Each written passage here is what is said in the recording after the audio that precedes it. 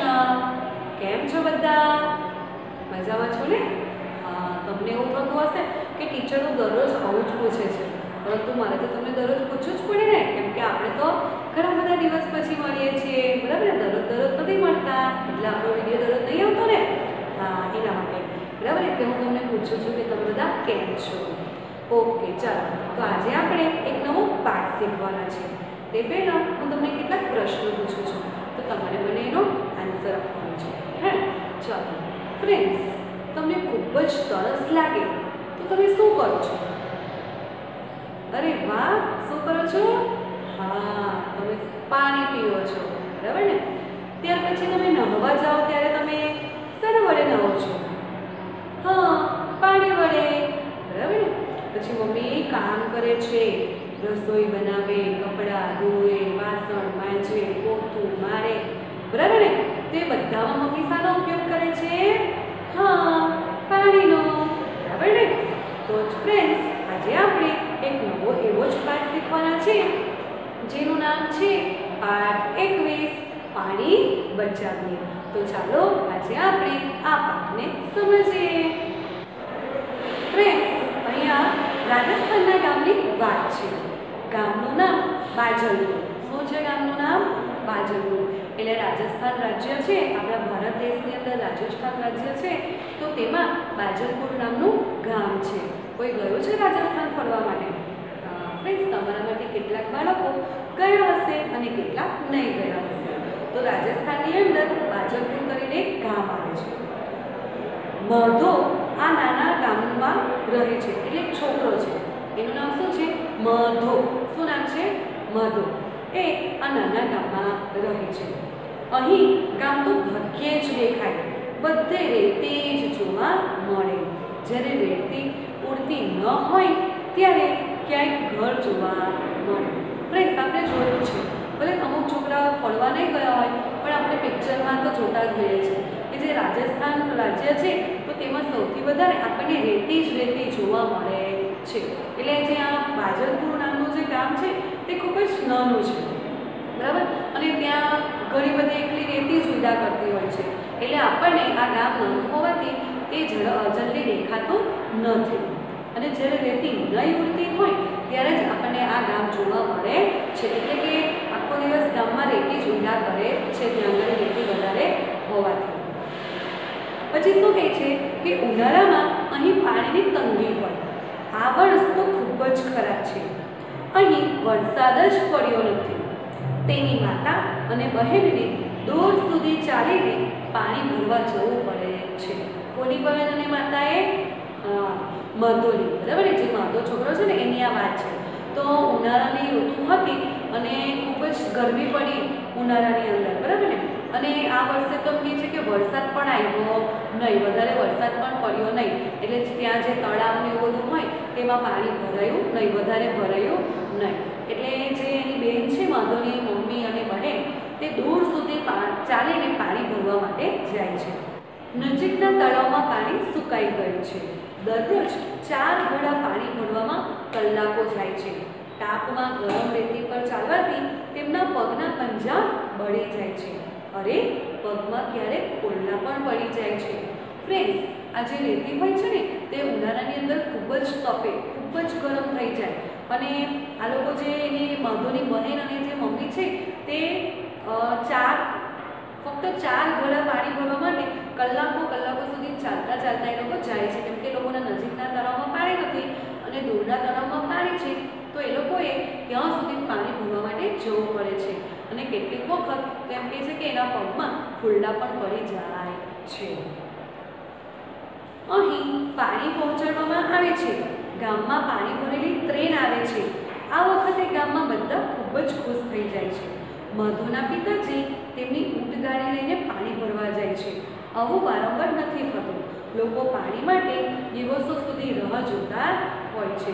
Friends Rajasthan રાજ્યની અંદર વરસાદ ઓછો પડતો હોવાથી ત્યાં પાણીની ખૂબ જ તંગી પડ્યા જ કરે છે.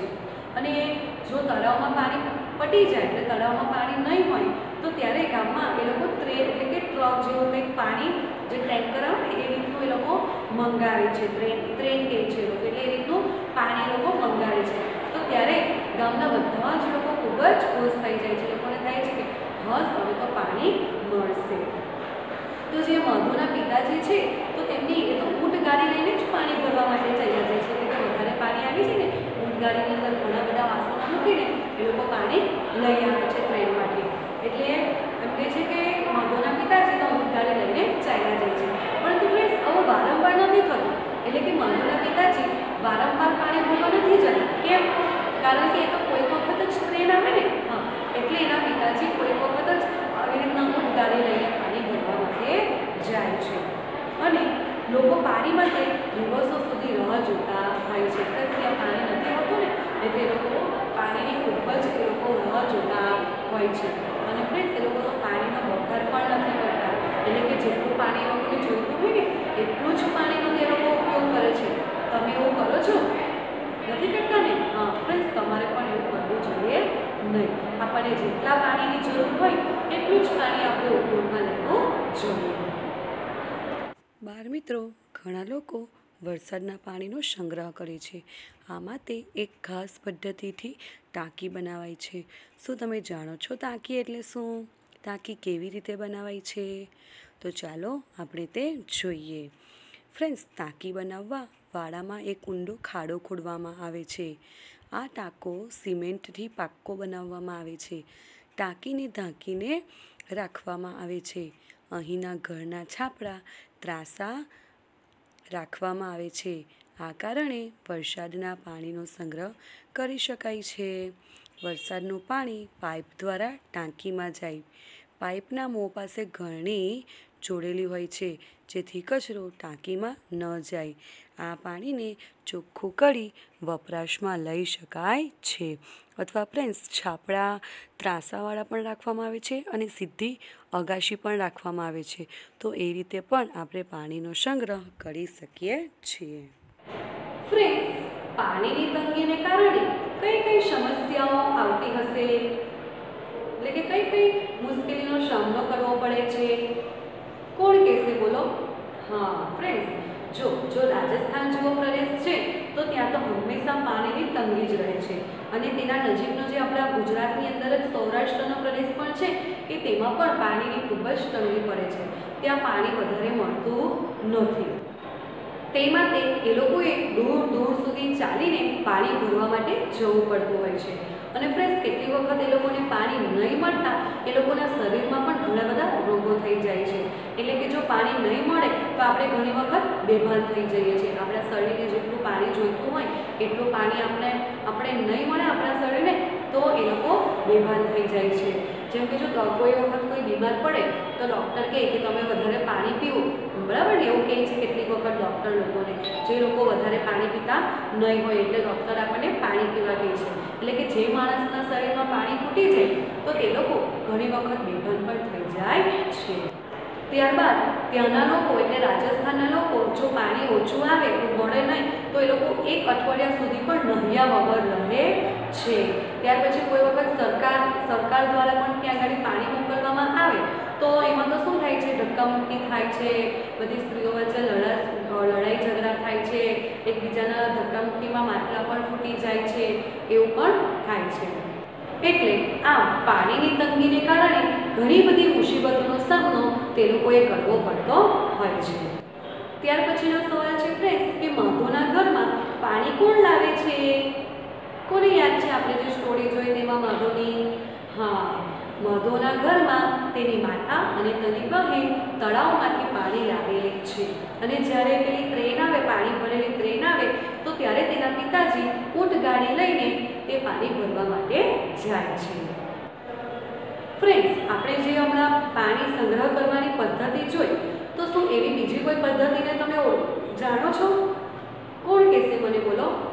હા. જ્યારે વરસાદ પડે છે, તો આપણા ધાબા ઉપર ઘણું બધું પાણી ભેગું થાય છે અગાસી ઉપર.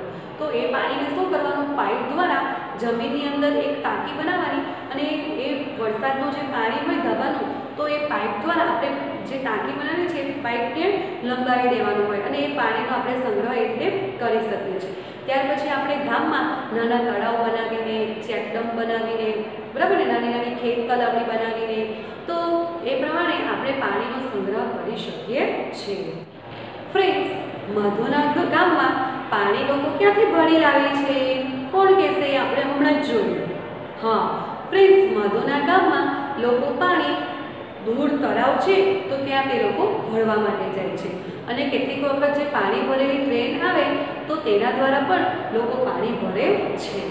ફ્રેન્ડ્સ બીજો હું તમને એક પ્રશ્ન આપું છું. તેનો તમારે વિચાર કરવાનો છે કે શું તમારા ઘરમાં પણ કોઈ વરસ- વરસાદના પાણીનો સંગ્રહ કરવાની કોઈ પદ્ધતિ છે? છે. જેના ઘરમાં હોય તો એ કેવી પદ્ધતિ છે? એ જ્યારે આપણે ઓનલાઈન ક્લાસ થશું ને ત્યારે આપણે તેના વિશે ચર્ચા કરીશું. તો તમે આ પ્રશ્નનો જવાબ રેડી રાખજો. તો ફ્રેન્ડ્સ આ સાથે આ પાઠ અહીંયા અધૂરો રહી જાય છે. જે હવે આપણે નેક્સ્ટ વિડીયોમાં શીખીશું. Okay bye by